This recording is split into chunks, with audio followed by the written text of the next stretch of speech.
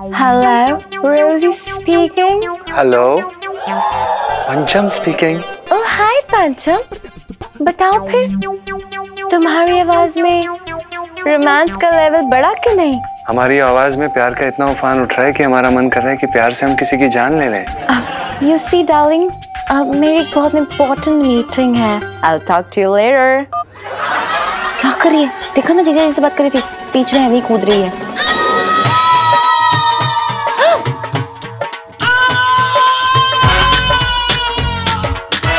जीजा जी।